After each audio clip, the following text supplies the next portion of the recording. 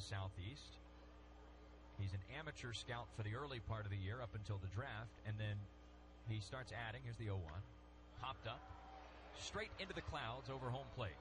Nottingham is seeking it out, moving out into fair territory, makes the catch up the third base line